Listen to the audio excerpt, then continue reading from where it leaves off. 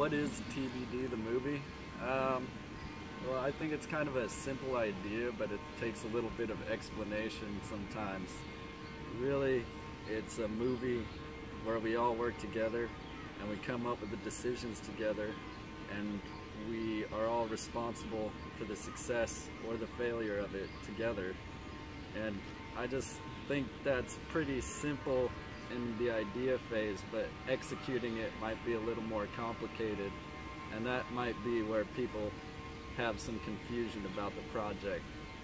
Basically, we're doing this whole thing on Tumblr. There's a little bit on Facebook, there's a little bit other places, but we stay on Tumblr most of the day and we talk to you in person, send you messages, we uh, get your replies to our posts and your reblogs with your comments on them, and we take that all into consideration and it's all written down too, by the way. Then we, uh, we make our decisions on the project based on all that feedback. So right there, it becomes crowdsourced or, you know, open sourced or however you want to put it. And besides that, we're hosting surveys, trying to get feedback in any way possible.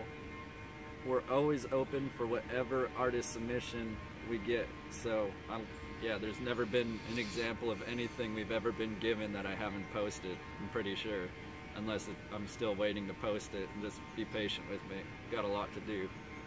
So, uh, We've gotten our script based on volunteers. We've gotten everything based on volunteers, and we're continuing to do that. Soon we're going to have to hire people for the production, and the production's going to be, you know, a whole new world. We're going to be hiring people, getting volunteers, getting artist submissions still, and uh, relying on everyone still, but we need more and more help all the time. So please help us get the word out there as we ask for money for production, start this Indiegogo campaign, and really turn TBD the movie into an actual movie.